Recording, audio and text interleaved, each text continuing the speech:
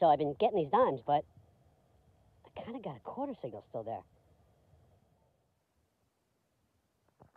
The old pants leg. it's another Rosie, I think.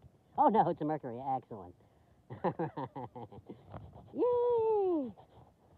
Oh yeah, there she is. All right, we'll clean that baby up. Let's see if we can get a little closer. See if we can get a date off it. What is that, silver number four? Sweet.